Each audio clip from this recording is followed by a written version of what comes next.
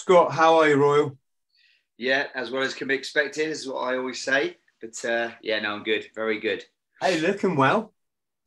Uh, trying to keep fit. It gets harder when you get to the grand old age of uh, 78, which I am. Okay, 52, but that's old enough. Yeah, it's, it's an uphill struggle, isn't it, when you're uh, a bit older?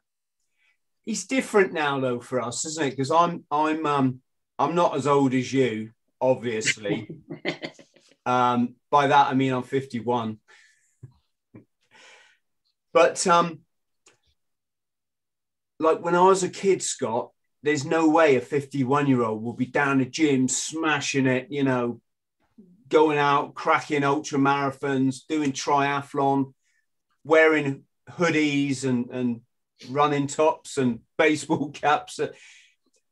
When, when I was a kid, by the time you got to about 25, you were old, like really old. You dressed in tweed, you had a hat.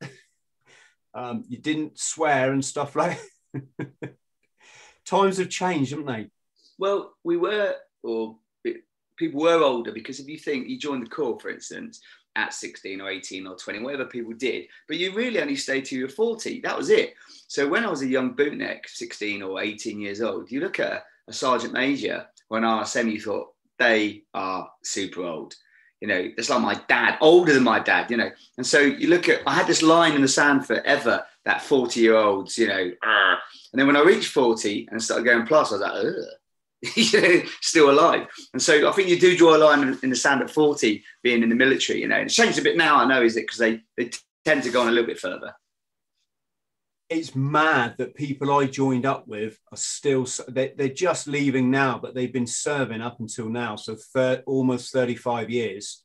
Yeah. Um, many of them reached the the um, you know rank of major and this this sort of thing. Yeah, yeah. Um, Gaz, who I was did the nine miler with at the weekend, uh, or the previous weekend, he he's a colonel now. It's just um, I find it absolutely, absolutely fascinating. Personally, I wouldn't swap the adventure I've been on across, well, the whole world, um, and all the learning involved, sort of, for for any position in any company. But have you found that your, yourself? Because you must have travelled quite a bit now, and yeah, and, I mean, you know, I like sorry, I should add, being a police officer, you see a side of life, I guess, that a lot of people don't. Well, it's funny actually. Uh, I thought it was uh, uh, the time I left the Marines anyway. I thought it was quite tough, um, and actually, then I joined the police and I realised uh, that that would toughen you up. You know, Thursday, Friday, Saturday night um, in a big town or city centre.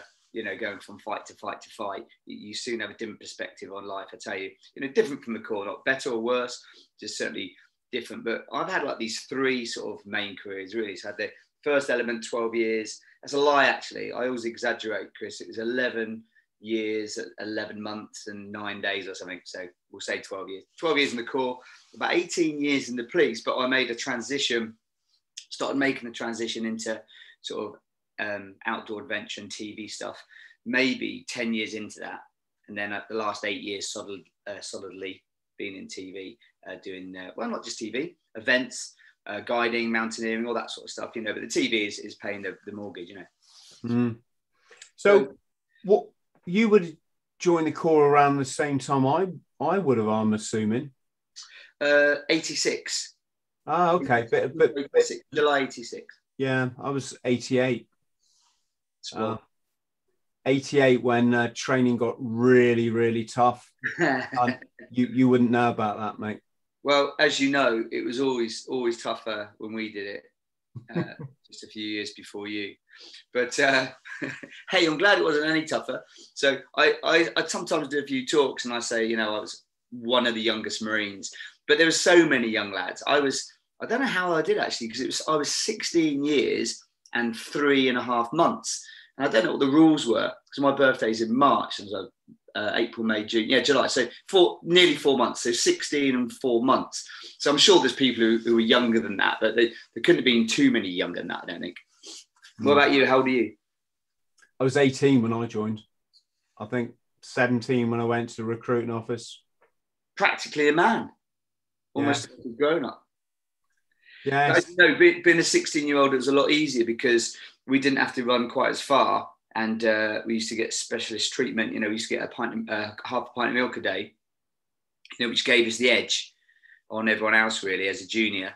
You got your half a pint of milk. I don't know if you did it when you were in, but we got our, our milk every day. So that, that gave us the edge. That, that, you know, that was preferential treatment. Are you being serious now or, or taking a mic? It, it, I thought the standards were the same across the board. Yeah, they're absolutely the same. Yeah. But that, with the only difference being that um, what we had, I think there's about 11 or 12 juniors in the troop who were under 17 or under 18. So we we got half a pint of milk and we had to go every Did morning. you, when you did the commando test, did you get longer time? no. No. Okay. Okay. no. Uh, you don't have to carry the 84. You're only 16. It's a bit heavy for you. okay. So the point no. we're getting to is it's there's no um you know there's no get out of jail free card for anybody. You you you either do it or you you you don't. yeah. And our officers have to do it all a quicker, obviously. Yeah, they, they do do it a bit quicker, some of the, the tests, well, all the tests. But um, I joined at uh, 16, I think a few years before that, and someone will probably comment, they used to have junior troops. And the whole troop, I think, was made up of, of kids, you know, under 17. I can't comment on that, but mine was mixed. So we had, I don't know how many it was then, maybe 52 people. And I think as there was about 10 or 12 of us were, were 16 or, or certainly under 17, yeah. So it's a funny dynamic, you know, when you've been going straight from school and a child, and then suddenly you're, you're thrown in with men, and uh, you know, but it was great. Yeah, it's good. Yeah.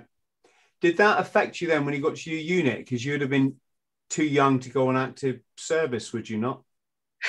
yeah, I did. So immediately I passed out of training, which was uh, 27th of March um, uh, the following year. So I was, set, I was just 17 by three weeks.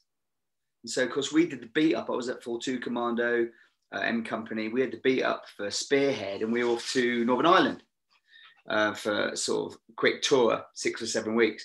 So I did all the beat up. Um, no one said anything to me. It was like, here we go, you know. And then about a week before I was going, the sergeant major called me and said, "Yeah, a bit of an issue. Uh, you're not coming." You know, there's I think three of us in the company, so yeah, we're left behind, which was which was really shit because you'd just done all this Royal Marine training. You, you know, you, you go from the top of the ladder, you know, commando training, Green Beret, then you go back to the bottom again, get to your commando unit and you're a sprog, you know, whatever. And then this is your way, of course, as you know, to fit in, go on a tour and get established. But uh, yeah, you can't go. So you're on a rear party and the lads will go off. And of course, when they come back, you know, whatever they felt uh, of the tour, you know, they were part of that tour, operational tour. And, and it was quite difficult for a few months to, to fit back in there, you know, and start sort of building bridges again, you know. I think it was in the following year we went to Norway, usual winter deployment. Yeah, it's fine then, you know, three months and then you're back in. But uh, yeah, it was, it was, uh, I was upset with that, yeah, at the time. How did you find Norway then if you were so young? Well, that's, again, again, you know, we used to have tent sheets in those days. We used to carry these seven tent sheets uh, on your back. And uh, it, again, if you're under 18, the lads are really kind and they say you don't have to carry the tent sheets because you're under 18 uh, or the Yelper sledge. Um, and actually don't have to ski so far. Uh, yeah, was, I, I mean, God, I was five foot five and um, 10, 10 stone. No, I wasn't. I was five foot five and eight and a half stone. and I wasn't much bigger when I was actually in Norway. And then, uh, you know, three or four years later, when I was training to be a PTI, I was five foot 10 and, you know, 12 stone. So that was the difference between a boy's body and a man's body. So, yeah, you know, I struggled. Um, always passing, always there with the team, but always at the back and, you know, struggling. But um, yeah, it was, it was good though. It was good. yeah. Did you get out to Ireland in the end? Yeah, so I went to, um, I became a, an LC about two years later. I went down to Poole, and actually it's brilliant because, you know, we always say, don't we, join the corps or whatever and see the world, but probably you don't necessarily see that much of the world. But as an LC, I got a deployment on um, Intrepid. And so actually we went to like, I don't know, the whole, we did a Mediterranean tour, world tour, you know, um, but just before that, uh, oh, sorry, when I came back from that, I went back to Poole and then I went off to Northern Ireland, which was then called Snowny. And um, we did uh, Carlingford Lough um, and Neagh. So I did a, in the end a nine month tour actually. I did six months and got and got extended, volunteered to stay out there because it was just a great job. So uh, in the end, did a sort of back to back tours there. But you know, yeah, it was good, interesting. And what's your role there? Are you trying to stop weapons being transited across the lakes or the locks? The main role is uh, try to tolerate uh, small ships routine with um, 20 matlows. That's the that's the hardest challenge. Nah, they were good good lads actually. Yeah, so I worked predominantly Carlingford Lough game. So we did boardings every day. We did our patrols, um, some land patrols and some on the water, OPs, you know, and uh, yes, trying to stop not just I think weapons, drugs, criminal activity as well as terrorist activity. But we did boardings. They were the bits that were great fun. Um, you know, all all times of the day and night in all weather conditions. We put the lads up on the on the boat. You know, ships would only slow down to 10, 12, maybe 15 knots. They're all good fast boardings, nighttime, you know, exciting days actually.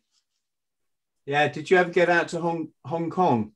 You know, I didn't. I, I was, uh, uh, I went to the IT shed afterwards, which is the uh, the old radar instructor team, and all the boys in their old sweats, you know, honky fin, and it was all dits and stories about Hong Kong. And uh, yeah, no, I never went out there actually, but I would have loved to. It was the one place I would have loved to have gone. Yeah, but uh, they had they, stories for a lifetime anyway. They used to go out in the, is it the South China Sea, and they'd have to stop the smugglers coming from the mainland, and probably vice versa. Um, yes, quite, quite. That was quite, quite a place and quite a role. What uh, did you have any sort of finds or anything, or do you have any successes or any hairy moments? Um, did we have any hairy moments? I don't know sometimes uh, we did a couple of OP, uh, some OP work with some of the SB lads, and they were always doing good ops, and that was quite exciting. Uh, we come under fire a couple of times, but only random, nothing really.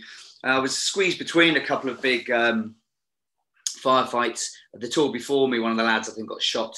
Um, one of the LC lads called uh, Fang Parker. Um, it was maybe a year before got shot shot in the in, either in the backside or the leg I think um, opened up on. So it was you know it was it was amongst it but we didn't really you know have too many contacts really just in support of other people quite quiet. And what um what branch of the police did you join? Is that is that the right expression? Uh, well you join the um you you join just as a police officer first of all and of course, I became a, a PTI and I, I, did seven or eight years really finishing my time in the Corps as a PTI. So when I left the Marines to join the police, and by the way, I, I was sulking. Um, I went up to Antarctica. I spent a year in Antarctica on board HMS Endurance. Um, brilliant draft. The sort of draft that you knew was brilliant when you're on it. You didn't have to look back later and go, it was shit, but now I look back, it was brilliant. On it, I knew that it was like life changing and amazing. I was the only PTI responsible all for the fitness and stuff. And um, I just loved it. Expeditions, if you like mountaineering, brilliant. And then you get a preferential draft at the end of it. I put in for, I think, Poole again as a PTI. And uh, the Corps decided that so I was just due for my seniors, actually, senior command course. So they thought they'd help me out by sending me to 4 5 Commando, which was geographically the furthest place from my home. And um, so I showed them I showed them and, and left Corps, joined the police. And uh, I remember the sergeant major going, "Okay, see you then." you know what? Surely you know you want to fight for me? No. Um, so yeah, I joined the police just as a bobby, and so uh, I uh, I left the uh, easy transition when you leave the Corps.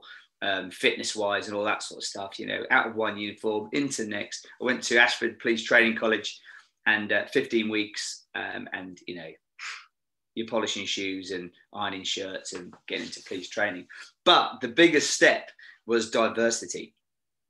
The biggest step was to, you know, actually, you know, you've been in the core and um, perhaps your levels of, uh, uh, what's the word I'm trying to think of really, interaction with others aren't as good as they could be.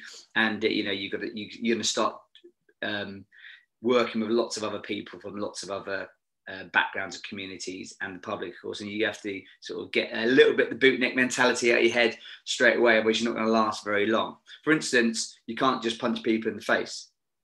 Uh, that's a no no. You have to uh, have some rules, and then you can punch people in the face. So uh, it was it, it's quite difficult to make that transition. And a load of lads, bootnecks, matlows, um, you know, army lads, uh, they went by the wayside. You know, they just couldn't make that transition. Behaviour, you know, and it's only just being careful what you say and, and knowing your audience. I think, but actually, it was great. I did um, six or seven years frontline policing. And who wouldn't want to do that? You know, fast cars, going to fights, and really adren- adrenalized all the time, and new challenges. It was great. Yeah, you know, it was good. I nicked this one guy uh, for murder, which is always a or attempted murder. You know, get the old murder badge, and um, it was funny. He was uh, an ex Gurkha, and he'd stabbed someone, and they said, "Yeah, you know, go go to this job and uh, he's been stabbed in the back of a cab and I get there and I arrive it's right outside the front of a pub of about 300 people in the garden and open the taxi and there's this guy on the floor, blood everywhere, lying there. And with my colleague, and she sort of, you know, starts giving him first aid. And the taxi driver says, "Behind you, behind you," you know. And there he is, this guy, ready for action. And um, uh, it's funny because if you read some of these statements, they go, "Oh, the lad, the, the police officer was amazing, really muscular, massive police officer, got to be six foot eight, You know, and he rolled across the front of the taxi cab and he grabbed this guy by the throat, punched the knife out of his hand, threw him over his shoulder in a judo throw, and stood on the back of his head and said, you know, one in custody, murder. You know, it was all very exciting. Um, and that was literally the landlord's statement. But in fact, I walked around the front of the car, probably put my hand on the taxi. The guy was crying who committed the crime and he, he didn't have a knife. He had one of those big carving forks you know that you do your sunday roast with. Obviously he still did a bit of damage. And he fell to the floor himself onto his knees and dropped the, the, the knife the fork. And i just grabbed his wrist and then he fell onto the floor. I mean he literally put himself onto his front put his hands behind his back. And that was it. I'll tell you what scott we'll, let's go for the other story. We'll do a bit of editing. Wow incredible. Yes, I I was um I listened to Ant Middleton's book a couple of years back, and he was saying he he joined the police for a while. Did he? yeah, and it, it was a very short-lived career. I don't think he got through training because of what you were saying, and, and it wasn't that. According to his um, account, it wasn't that he'd done anything particularly bad but he said to, uh, I'm guessing it would be a Sikh at, at breakfast one day in training. He said, You're going to wear that thing every day, right? And of course, the sad nature of society is, is, is, is it was just a genuine question, especially if you're going to be a policeman and you're supposed to wear a helmet and this kind of stuff. And um, yeah, I think he was quickly on a some sort of warning. Well, it, it, it, wouldn't take much. I mean, that wouldn't have gotten chucked out, but accumulation of a few, you know, things you do have to get switched on quite. I, I made loads of faux pas, and people took me to one side and get, had a quiet word, and uh, it went on for a while actually because your training is two years. You you do this probationary period, and that's the time when you can really get it wrong. So luckily, I, I was super lucky. My first sergeant was an ex bootneck guy called Jeff Brooks. He's, he's dead now. Nice guy. Um, and he just took me, shut the office door. It's funny, you know, he, he, didn't exactly grab me by the throat, but he was sort of a nose to nose of, you know, you know, this is a, this is not the call. This is the police. Keep your nose clean. You know, stop being a twat. Um, you know, you're a police officer now, and I'm going to be on top of you like a, you know, whatever, giant mm. hammer if you uh, start stepping out of line. But it was great because every time I, I did go over the top, you know, it was like not just bootneck mentality, but PTI as well. So guess what? I'm a bit over the top. I'm full of confidence, you know, and um, extrovert. You know, so I'm cracking jokes and funnies all the time. Which funny old thing, Chris. Some people didn't find funny. so you you adapt, and then I you know I came I became a sergeant, and then you suddenly got to really adapt because you're supervising you know, 20 people. Hey, Scott, I've got a brilliant joke for you, right? How do you drown a PTI? No, it's impossible, I think. Too put strong. A, put a mirror on the bottom of the pool. do you know what? You, I tell this, I remember a time, this is true, I couldn't walk past a mirror without looking in it. Now, I daren't look in it. I duck underneath the see. Uh, we've all been there. We're all, are there now. Yes. So I'm actually uh, more fascinated to hear about your, your travels and your adventures and how you, you, you, you. I mean, you've got Patagonia on your hat, and I, I'm going to guess a lot of people probably don't even know where that is. No disrespect if you do know where it is, um, southern part of Argentina, very rugged wasteland, but but ideal for um, adventure programs. And I think there's sort of well, you it ends in Tierra de, del Fuego, which is where you have to go if you want to expedition to Antarctica, or at least that's one of the routes. Um, Ushuaia down there on the on the very southern tip. It's a little bit sort of like the Falklands when you're down there. It's similar as if you go up to the very north point of Scotland. So John O'Groats, it's that really beautiful, unique, but almost barren and desolate sort of feeling. Um, sorry, I just went on a bit of a tangent there, but you can see I love traveling and and or I'm pleased that I've done a fair bit of it. What at what point did you get start to get involved in the television stuff? Well, just on the travel quickly, of course, I, I, did a bit in the Corps, and then my year in Antarctica, you go down all, all the coast of South America. You know, we went to Buenos Aires and uh, Montevideo and down to Uruguay. And we went on a little expedition in Uruguay, of course, over to South Georgia, had six weeks in South Georgia, then Antarctica, and then back at the other side. So did a lot of travel there. But what I found is uh, in the police, I, I, went from police officer, to police sergeant, and then I was a police trainer. So I started doing, um, you know, some farms and, and uh, taser and um, uh, self-defense, you know, officer safety training and PSU and all this sort of stuff. And with all those skills from police officer and train and the training elements particularly, because I tell you this, the big thing that comes into TV is risk and risk assessment. I'll come back to that. So hmm. um, what the police did is they made me go on a national risk assessment course. In fact, health and safety course called NEBOSH. And people may not have heard of it. You might have heard of all sorts of health and safety qualifications. IOSH. And NEBOSH is the front runner. NEBOSH, um, you know, throughout the UK, that is your expertise in sort of um, uh, health and safety. And that was like six months of my life I'll never get back. Um, they sent me to university one day a week to do this NEBOSH. And once you pass your NEBOSH exam, you then have to start talking like this and being unreasonable about taking any sort of risks. So that was that was a really good uh, certificate. But basically, everything I'd done in the Corps, particularly as a PTI, and then the police sort of gave me all these tools, um, which are going to be very useful in not so much TV, but the, the TV and the outdoors. And so, um, you know, you, are already there. You can you can work with helicopters, you can work with boats, you can do risk assessments, your first aid and, and medic stuff, which in the police is really high as well. Um, and then just all your experience to travel. And of course, as a PTI, I was already uh, um, a, a, not a mountain guide, but a mountain leader, you know, and we used to have to do what's called a JESMAL and a UEL and SPA and all these qualifications for climbing and abseiling and mountaineering. So you've got it all if you're going to work in extreme environments. the first place I went to to work with Bear anyway, um, my first real outdoor show was in Sumatra.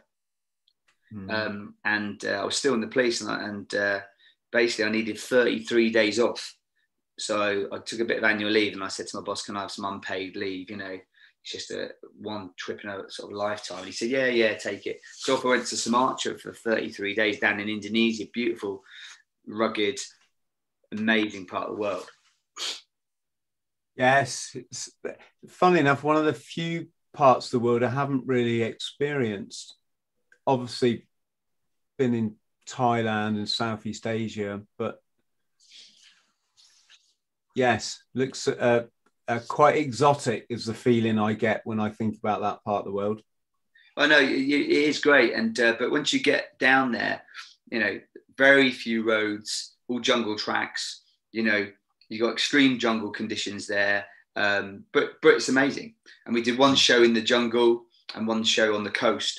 Um, but great. And at the same time as doing the TV, I then started to um, start working uh, or my own company, which at the time was called Yomp Training Consultancy. and um, I started doing guiding. So yeah, little trips in North Wales, and then that's quickly spread over to the Alps, and then that quickly spread to places like Nepal, of course. And so I was working uh, every time I could get any time off at all in TV, and if I had any more available time, then I was doing my own company stuff, and gradually easing down the police. So after I'd used up all my leave and the police weren't happy anymore for unpaid leave, I started taking a day off a week. So I was part time and then two days, then three days until I got to the very bare minimum, which is 16 hours. Um, oh, bit like bit like being a PTI then.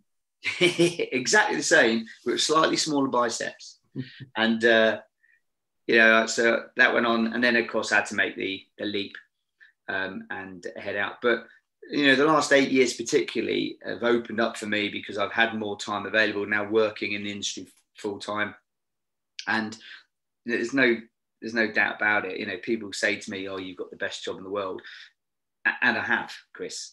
I have because uh, what I tend to do, it's not just me. There's a team of two or three of us. We usually divide up, but um, there'll be a series, and uh, we'll have to film two shows usually at a location. And a good example is uh, next week. I'm off uh, for two or three weeks to Mammoth, Mammoth Mountains in uh, the states and um, you know I'll have two weeks with a fixer who sort of knows the area quite well, and I'll go to 25 locations, high in the mountains, in the gorges and the lakes, and I'll try and find some um, amazing um, sort of journeys. You know, I'm looking for a waterfall, and then quite close to it is a little cave system, and maybe just in the next valley is a lake, and then the next valley, you know, is a, a really rugged mountain rock face, and then I sort of bring it all together, you know, and try and get some ideas. So I've got this this A to B to C to D journey, um, and then we put other bits in there as well. And then so that's week one or two, and then um, I'll come home a couple of weeks later, go back out again, and this time I'll just take a buddy, one of my boys, and um, we'll test everything. So we'll we'll climb the rock face, I'll abseil down the waterfall, you know, we'll paraglide from the top of that mountain um, and test those bits and pieces just to make sure that you know our crew can get up there and do it because they do they have to be on the same terrain you know? And of course the cast the stars and uh, uh, the presenters can do it as well and um, and make sure it's safe. So we're putting all those protocols in. Then phase three is the filming. We get out there then it runs at a million miles an hour and then our job role changes from and scout to um, looking after the crew as they bounce around and try and cross the same terrain um, as the presenters so I'm going to dive in there with a question have you had crew that you just wanted to throttle because they were so useless? Um, sorry, I got I've gone straight in with a negative there, folks. No, no, it's good. I've, I've had to execute several crew members, and we've left them buried under dry riverbeds. No, um, you know, first of all, these TV crews, a lot of them, um, if you you know, you might be brilliant at your job at, at uh, sound or audio or light, or whatever it is, um, or or cameraman, but actually on the train we are in. Sometimes the train is very, very difficult. And sometimes they're extreme environments. You know, sometimes we are in the middle of, of nowhere. It's taken two or three days to get there and helicopter bumps. And uh, you are in extreme locations. Other times they look extreme, but actually they're not so bad. Um, but uh, the crew that we work with a lot um, usually are pretty good on their feet and they know what they're doing. In fact, the crew that I work with 99% of the time, these guys are bloody good. Mm. You know, they bounce from rock to rock. In fact, sometimes they they move a bit fast and a, a bit risk of um, take a few too many risks in order to you Keep know talking. Yeah, to get that shot. And so sometimes it's just a matter of putting them on a rope and calming them down a bit. But they're highly talented, not just in the, the job role that they do, but their movement on the terrain as well. But now and again, you get a new member in. And actually, before Christmas, I was in Moab and uh, we had an almost entirely new team, really. And there's a big, big difference. But then you just adjust the way that you you deal with people on the ground, slow it down, give lots more safety briefs, clip on a safety rope a bit more often than you would with the other guys, and um, and get to you know learn as they go along. We had a cameraman actually never been in a helicopter, and we just had to do some GV. So he's going to fly up and down and do some beauty shots, you know, uh, with the camera. So he sat with his legs down there over the side, and I've clipped him on, and so he can't go anywhere. You know, he's he's got you know, he's, he's, strapped in, if you like, but his feet are hanging over the side doors off. And of course, I'm just sitting next to him, um, on my phone just reading my emails. You know? And I noticed as we start to bank the helicopter, he's leaning out the aircraft, his bum's off the ground because he's going with the helicopter. He's getting sort of fixated on the ground, and you know he can't really go anywhere. He had about three inches of movement, it was just funny to see. And he put the camera down, like, and he was like, "Oh, wow, that was really weird." So just by putting a hand on his shoulder, gave him a bit more confidence, and he was fine. But you know, you only need one or two rides in the helicopter, then it becomes normal. You know, and we get shipped around so much. It's just a, it's just a bus. It's just a taxi, isn't it? I think we used to call them cabs, didn't we, in the in the court? It's an incredibly expensive one, though. it is, and on those shows, they they buy them out for the whole day, you know, three or four days, and at three three and a half uh, thousand an hour, whatever it's dollars, you know, it's a, a lot of dosh. But the pilots love being called taxi drivers. They they're really keen on that. Hmm. But I now, bet you have to resist the urge to say, "Look, I'm I'm taking this baby up." well, the, the main guy we use in the UK, Will, Will Banks on GB helicopters, he's a legend. He's an ex Matlow um, pilot, um, famous for landing his Lynx on a um, warship and the Lynx decided to slip over the side into the into the ocean. That was him. Um, but I tell you this, he is a phenomenal pilot. You know, course he is all that military background he and he puts this all over the place you know we definitely go places that other helicopters wouldn't even consider but you know he's he is amazing very good. It's funny to think when they chucked all those hueys into the was it the bloody indian ocean or the south pacific after vietnam literally they were just pushing them off the aircraft carriers, weren't they, to get to get to it's just a massive surplus of helicopters. But they were so basic they probably were worth, you know, five thousand pounds or some, something. You lose a Lynx, that's a few million quid's worth going over the side. I'm yeah. guessing. Yeah. And let's not forget about the two, uh, the pilot and the navigator. They're they're probably quite a good commodity. Yes, Yes. And um, when you're flying, you, you, you're obviously flying a lot. Are, you in the castle class or do they put you up, put you up front? Uh, yeah, a bit of a bone of contention, and uh, so I'll air it on this on this uh, media now. Um, yeah, no, I go cattle class all the time, which uh, annoys me because you know the some of the directors and producers and other people they don't. Fine and they've maybe earn the right to be up front you know earn a bit more money and all that sort of stuff. But it makes me laugh. They then get to location and they in their contracts they've usually got a day off to recover from you know jet lag. And old wanker chops here that you know seven o'clock in the morning straight in the car starting the recce process. And actually an hour later i could be tying knots and rigging abseils and tyrolines you know. And so it's one of my bugbears. But yeah, unfortunately, I'm in the back in cattle class, mm. uh, hmm. which doesn't mean too bad recently because there's no one in the back. So just before Christmas to Moab, I just stretched out across five chairs, you know, because there was like 11 people flying to the States, but I'm sure we'd be back to normal now. So hmm. yeah, mm. it's a bit annoying, but of course it's super extravagant, isn't it? Business class compared to being in the back end. Yeah, well, if you're flying the whole crew crew out at business class or first class or whatever they call it, that that's that's an awful lot of money, isn't it? That's going to put yeah. the production costs through the roof. I saw I sort of get it, but anyway, that's my little bugbear. But you know, they're the bosses. Nothing's ever going to change. You know, and, and, that's the way it is, and that's how life is. But um, yeah, you know, we get treated well. Don't get me wrong. Um, we get all our expenses, of course, all our fuel and taxis and accommodation, and and we get what's called a per diem um, uh, a little daily sort of rate, uh, as well as all your foods, like $25, get coffees and stuff. And, you know, so you don't have to keep going into your wallet. So, you know what? We get treated well. We get treated well. Mm. Scott, I've, I've heard a few things, right? And I, I have to ask you, is Bear Grylls actually a bear? that that's exactly the first question that I thought you was going to ask actually, because I'd already prepped for it. You know what? So, is he a grizzly or a brown bear or polar bear, perhaps? Do you know what? I will say this. You know, um, you know, he's a TV presenter. That's what he'll say first and foremost. You know, that's what he that's what he does. He's bloody good at it. Um, and uh, you know, he's got his journey and uh, what he's done over the last 20 or 30 years.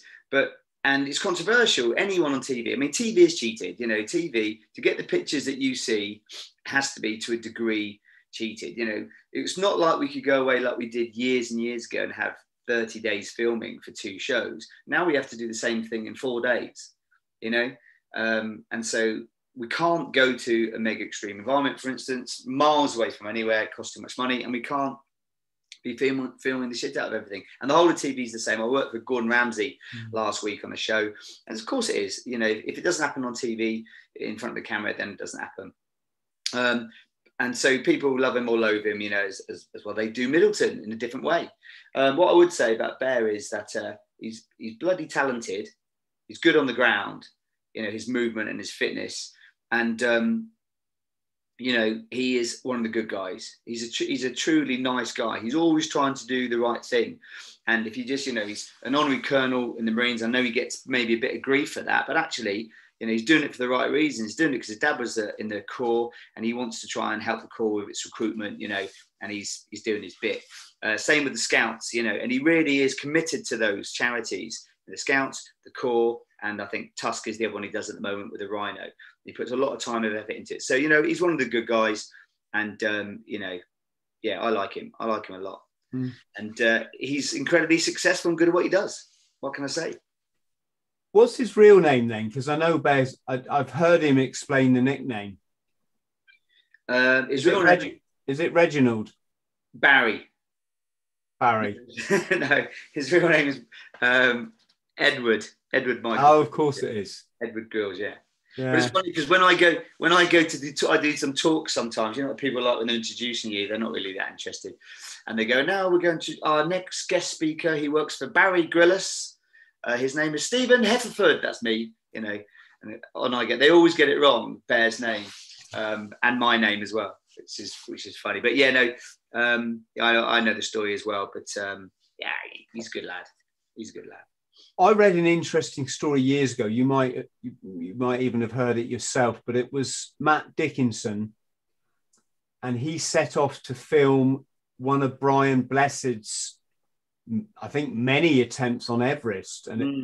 it, it, was back when I think Brian tried to do it in all the traditional gear that Ma- Mallory and um, you know that that kind of era would have would have worn. It, yeah. And when Brian got to X amount of thousand feet and decided to pull out, they had no documentary. no, it, it's the, the um, so Matt Dickinson, the, the who was just, I say just, I don't mean that rudely, but he was the cameraman. Went, they said, well, Matt, why, why don't you go up and we'll make the documentary about you? And so he ended up on the top of Everest. And I, I I think it might have been that year of the what they refer to as the killer storm as well. I remember um, watching it, and I remember him carrying on and doing it.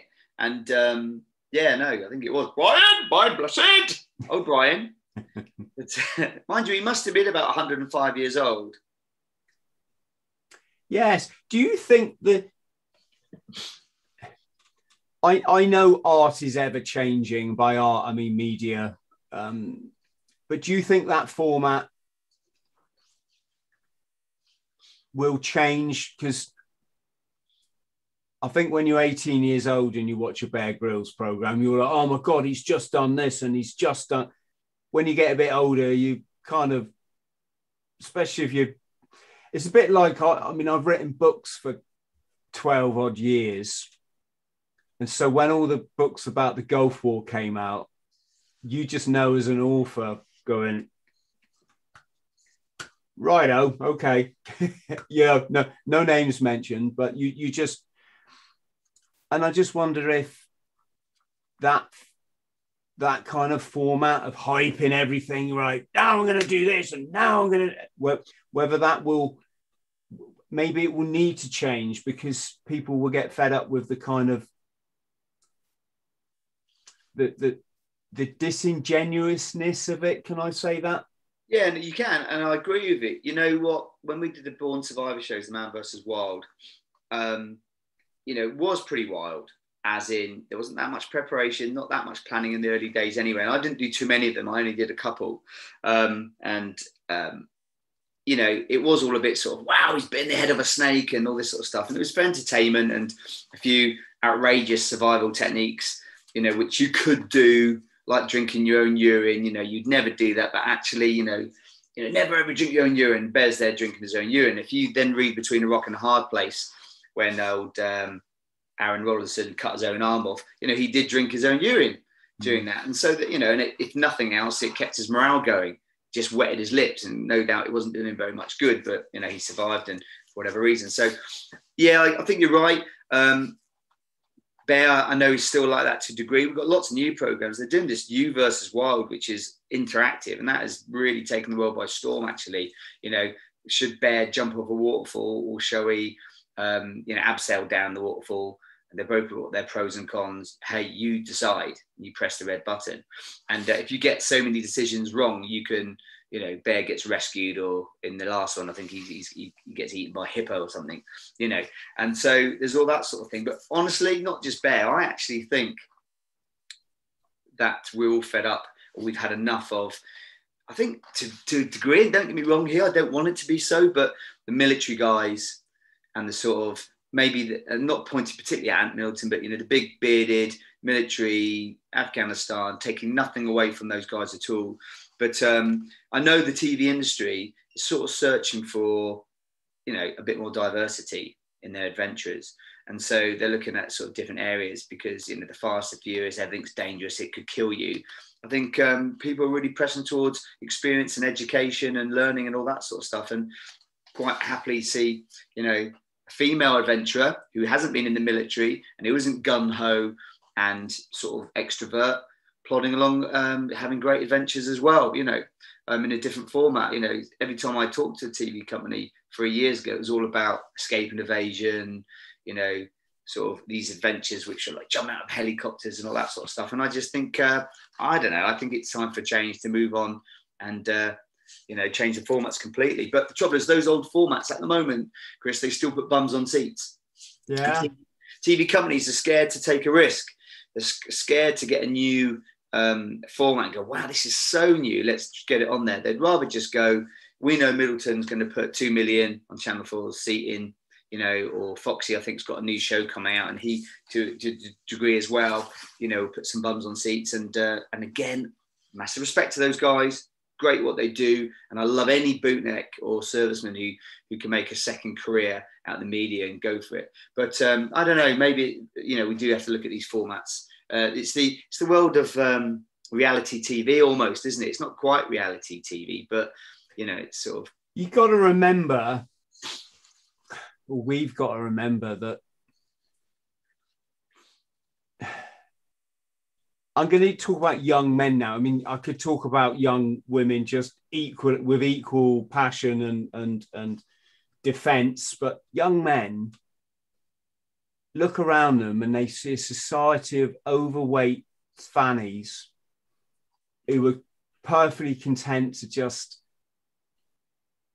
do a job for 40, you know, work in a call center, sit behind a computer, what what and I mean this no no disrespect, but what was used to be called woman's work. And they do that, they don't they don't get out. They don't get the adventure. The furthest they get is they put the lycra on on a Saturday and they go out on their mountain bike or their their their, their, their racer. Um, perhaps a bit of that. Oh, I wanted to join the Marines, but the, these this kind of thing. And you can understand why young men look to people like Bear and and the Ant Middletons and and they just must be open eyed and, and sort of living vicariously through these stories because m- m- the, the average life for someone now just isn't really it, it's it's risk adverse it's cotton wooled you can't even say the f word without getting a barrage of what whatever. Um, so, am I making sense? Does you know they must see they must look at these guys and think they're absolute legends, whereas you and I know you can buy a round the world ticket for a grand and a half. Probably maybe it's a bit bit more. You you can end up in Patagonia. You can be on the, the this company is doing guided tours up Aconcagua. Yeah. Um, you can get into the Amazon. You can fish for piranhas. You can stay overnight in in in in, in shelters there.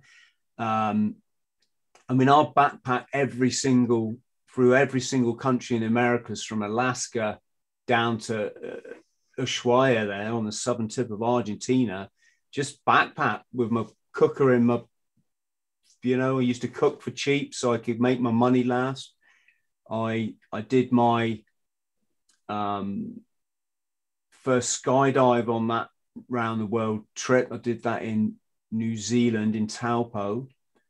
Um, subsequently went back to get my pilot license and skydiving license in Florida, all this sort of stuff. It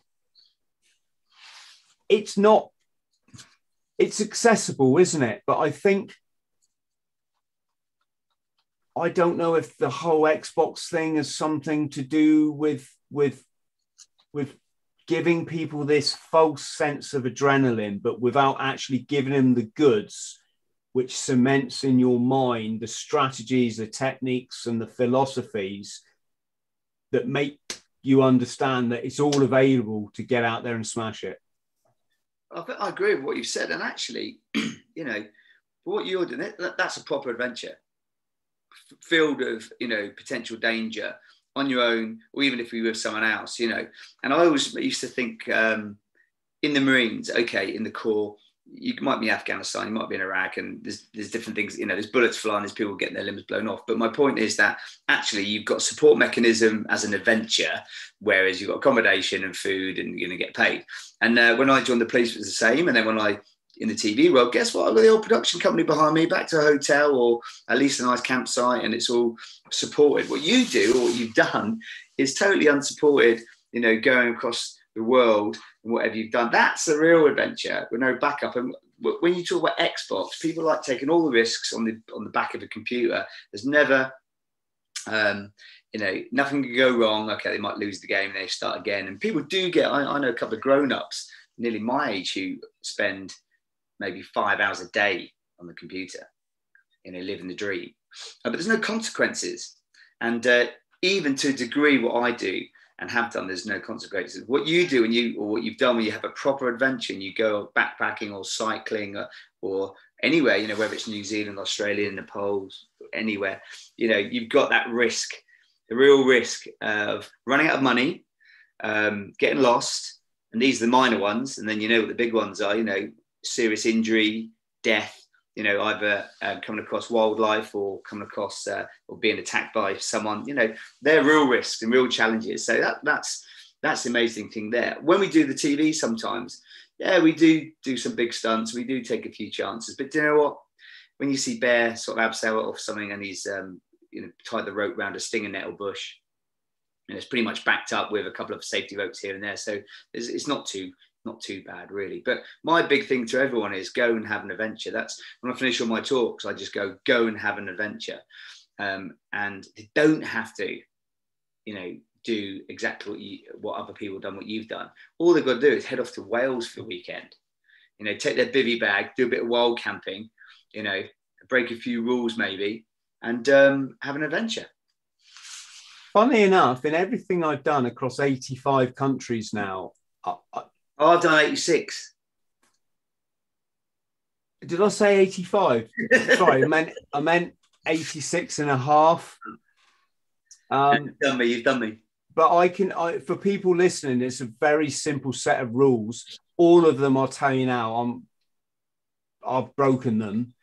But it's like, don't go on the beach at night. That is just a golden rule in any, can we say, impoverished country you just attract trouble if you go on a beach at night. And this is we had a terrible incident when I was on HMS Invincible. One of our our one of our wrens had to endure in Barbados. Um, don't buy drugs.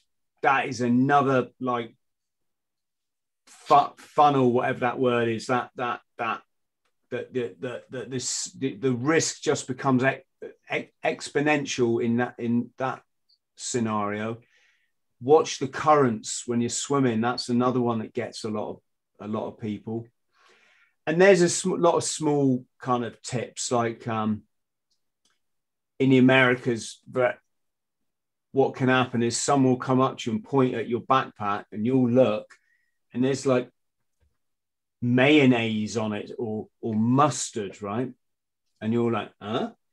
And then of course this guy goes ah let, let, let me help you and they take your back and you think oh this this um you know can't think of, can't think of the word but this this guy's come to help me. And of course they're not. They're just going through all your pockets at lightning speed um in the marketplaces. You never have your passport in a pocket. Anything it's all got to be down the pants or something because you, you're just going to get, and it's clever the way they pickpocket. They'll have someone with a blanket over their arm.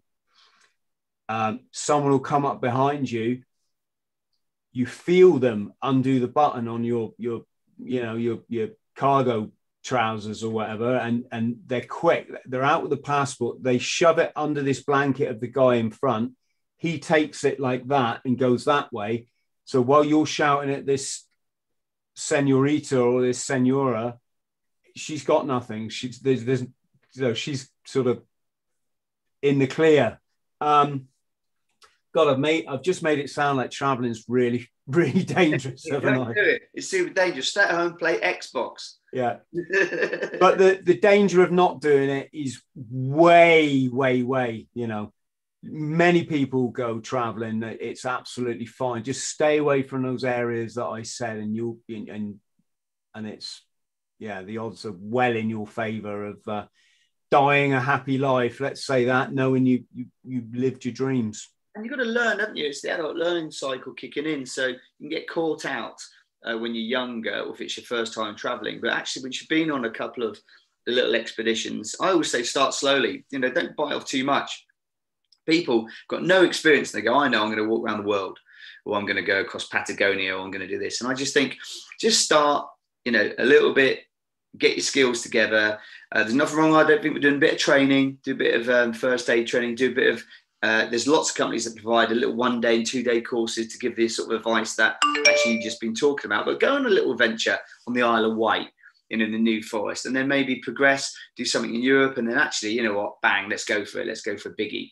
You know, I think that's, uh, and then you learn, you start to learn um, as you go along. And that's going to make it a little bit less painful, I think, rather than just throwing it all in. I know it's a fantastic thing to do. Come on, let's just walk across, you know, uh, Uruguay. It'd be fine. What could go wrong? Let's just take a, a backpack and a packet of matches. Yes. But um, you know, when it does go wrong, it can go horribly wrong. I tell you what I love as well: these new InReaches, these InReach minis you can get now. You know, the have you heard of the InReach, Chris? This... I've heard of it. You'll have to refresh my my aging memory about what it actually is. Well, it's just it's just a tiny little box uh, transmitter GPS emergency thing, American thing, Garmin, I think it is. And um, yeah, if you hit the red button, don't get me wrong, you're not going to get special forces coming, but they know exactly where you are and they can organise a rescue. You pay a set fee for it, you can put on sleep. You put it on sleep and pay like seven dollars a month, and then when it's activated, as in you're going away, it's like maybe thirty dollars. I don't know what the exact costs are, but you can text on it as well. The great thing is it's satellite GPS anywhere. It's not you're not waiting for a phone signal. This thing will work it you know everywhere on the globe. Um, so there's the InReach, and I think the new one's the Mini InReach, which is a little one. I might be totally wrong, but um, great bit kid. I've got the old InReach, which is great. Because one of the issues um, in the Americas is a lot of people go up, say they go up to see the crater of a volcano in the jungle when they come down, if all you've got to do is take the wrong path, and very quickly you're totally disorientated. And people will walk for days thinking, "Oh, maybe it's this way." And yeah, yeah. Some some get rescued, fortunately, but but many many haven't. Yeah, no. mm-hmm. it's easy done, isn't it? Easy done. So, Scott, to finish off, what's what's next on your your uh, exciting planner? Well, I was thinking of uh, early retirement. Um, you look too old for that. Shouldn't you have done that already? um, do you know what? I, I, do want to ease down a little bit. I've um, in the lockdown had the odd job, luckily quite a big job, which has kept me ticking over paying the mortgage. But um, I've managed to get out and do loads of paragliding and paramotoring, which is my love now. So every flyable day I'm out, and you know, people say you retire, then you just die immediately because you've got nothing on. I've got loads on. You know, I'll be back on the bike. Um, uh, I love riding the bike, my bike, and um, and uh, still in the gym and going on little mini expeditions and climbing. Uh, you know, that's what I love to do. So you know, that's that's cool. I just need a few more pennies for maybe just a little bit longer. So the TV world is just starting to pick up again. Um, it's, it's, sort of picked up already at Christmas in the UK, but of course, most of the stuff that I'm attached to is worldwide. So it's just starting to open up, and um, I've got I've got a job starting next week in uh, say Mammoth Mountains for a couple of weeks, and then I've got three or four more um, good TV shows to recce and scout before Christmas, which will tick me over nicely. But after Christmas, I'd like to to you know do more mountaineering and just uh, ease down a little bit if I can afford to do so. I mean, when when is it, Chris, the right time to um, you know, enough is enough? You know, when have you made enough money? I'm not a millionaire uh, by any stretch, but um, you know, you just keep going. I'll just do another job. Well, that's quite a big job. I'll just keep going. And for me, it's not about the money, it's about weeks away from home. And actually, for the first time this year, it's been quite nice being home a bit more after spending long time away from home. I mean, it, you know, the last eight or 10 years, I've probably done at least 200 days a year out the country. Wow. Um, and, you know, that is probably for a good eight years of those 10. Mm. So, uh, you've got kids. Is, oh, he's that... he's like um, he's a man now. He's like 23, 24 soon. Okay, so that's not too much of a sacrifice in that area then. Yeah, no, he's all right. He's he's doing he's doing his own thing, but um, that's okay.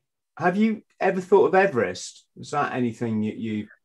Do you know? I think every mountaineer, um, you know, does it on any capacity, but particularly professional mountaineer, mountaineer would think of Everest at some point, and we all poo-poo it. We go, oh well, you know, it's too commercial. Um, just pay you fifty thousand dollars and off you go. Um, and it's not really a mountain climb as such, more of a yomp and all this lot. But the truth is, in the back of your mind, you, you always think to yourself, it'd be quite nice, yeah, uh, to go on Everest and summit it because you know just the way it is. It, although I often say to people in talks, there's a million other mountains which are which are great to climb. You know, and I've done a few biggies myself. You know, and been to Nepal three or four times now. But uh, actually, it's always in the back of the mind.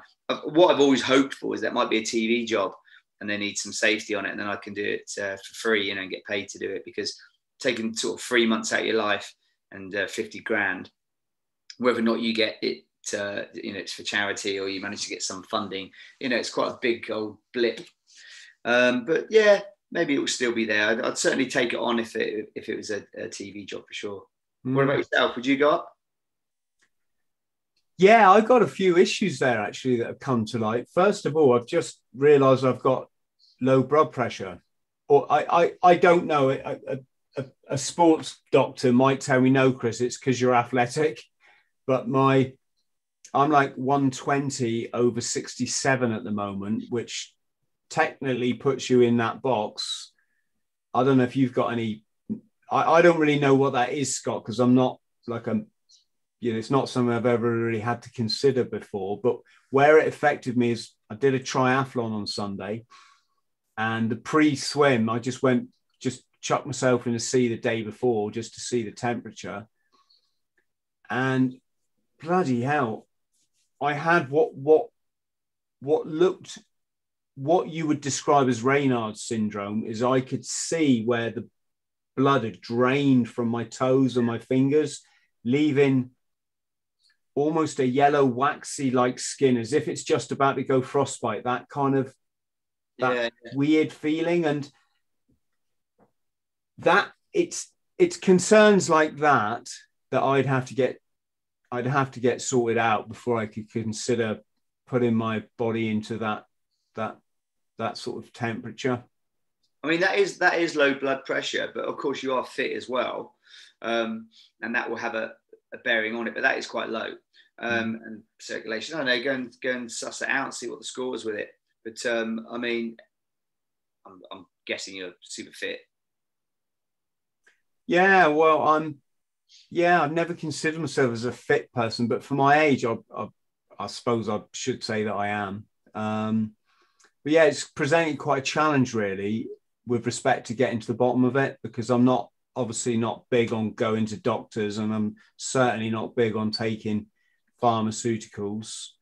Um, but I am big on diet and breathing, and I'm looking at this cold water immersion that seems yeah. to be really, really popular. I have a cold shower every day anyway. So, I mean, Bear's big on that. Bear every for about two or three years, Bear will take an ice bath or, or a lake, lake swim.